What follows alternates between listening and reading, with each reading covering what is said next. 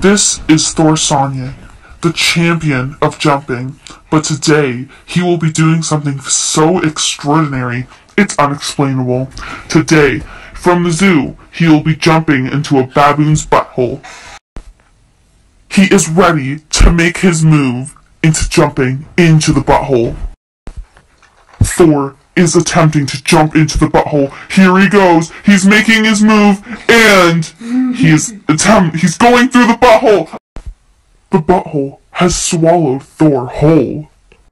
Will he ever make it out? I'm not sure, but hopefully he will. One is counting on him to make it out of the butthole.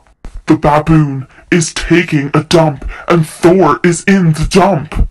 The explosive diarrhea coming through the baboon is saving Thor's life. No, Thor is drowning in the explosive diarrhea. We know that he is strong and he's going to make it out of the baboon's butthole in time. See him thriving for his life, trying to get out of the butthole. In time, he is drowning. I see his head going underneath the explosive diarrhea. He is not going to make it. Wait, I see him getting out. He might survive this! Washed out by the liquids coming out of the butthole. Baboon's butt is about to blow.